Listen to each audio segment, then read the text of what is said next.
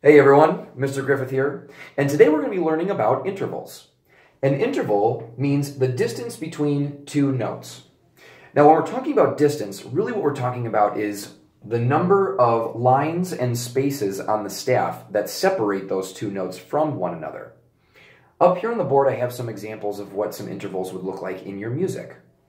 The first example is what's called a unison.